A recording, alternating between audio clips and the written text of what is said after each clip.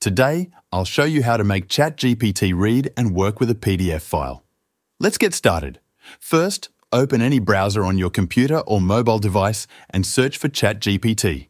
Click on the official website and log into your account if you aren't already.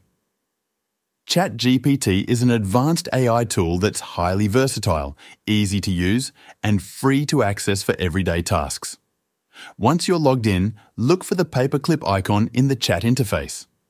This icon allows you to attach files. Click on it and you'll see three options for uploading a PDF. You can upload directly from Google Drive, Microsoft OneDrive, or from your computer.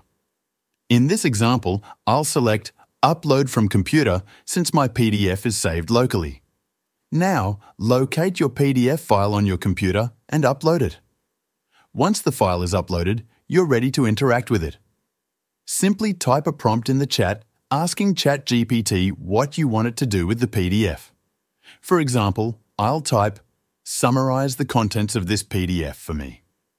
ChatGPT will process the file and generate a summary based on its contents.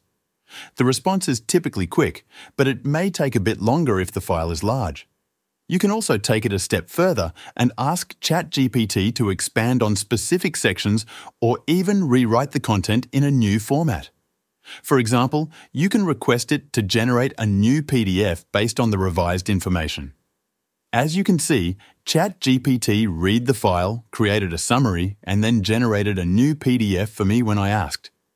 That's how easy it is to use ChatGPT with PDFs. Thank you for watching.